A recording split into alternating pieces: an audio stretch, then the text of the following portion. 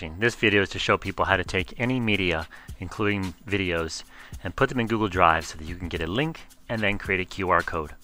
Over here on my desktop I have a video that I recorded that teaches students how to do some new task or skill in the library. I go to my Google Drive, I click New, and I upload that file with a File Upload button. Down here in this corner we see it's finishing upload, and I want to go locate that file. That file comes up here near the top of the list. And I'm going to single click on that file.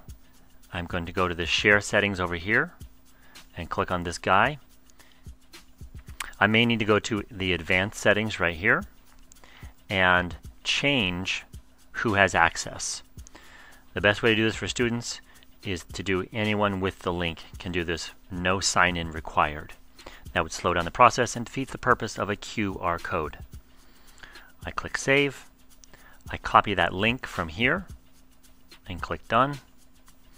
Alternatively, once my shared settings are set up, I can click this and I can click the link button right here and it puts it on my clipboard to paste where I want.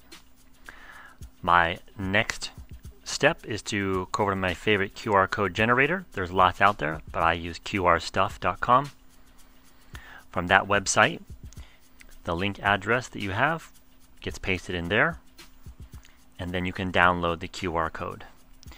So out pops this QR code from my download folder and that's what students would use to get to my tutorial.